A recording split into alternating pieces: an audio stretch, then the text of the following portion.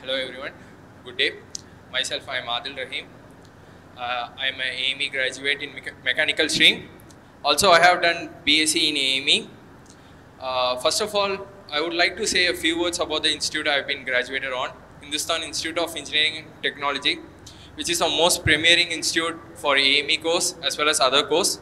It's been a successful institute for producing excellent candidates from past 54 years. Uh, also, I would like to highlight some of the infrastructure that are being present in our institute. Our institute has various all power plant equipments as well as airframe equipments where candidates can learn and get thorough with different practices they get up in the industries. They also get a good teaching and communication skills from all the faculty member present over here who not only teaches them the academics also a good way of life to deal with. Also as our founder said to make no man failure and all man success the institute really keeps up with it. Thank you